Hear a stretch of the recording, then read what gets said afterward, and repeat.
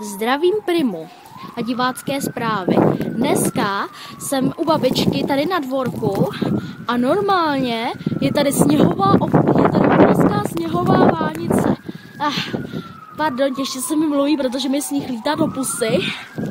Normálně je to neuvěřitelný.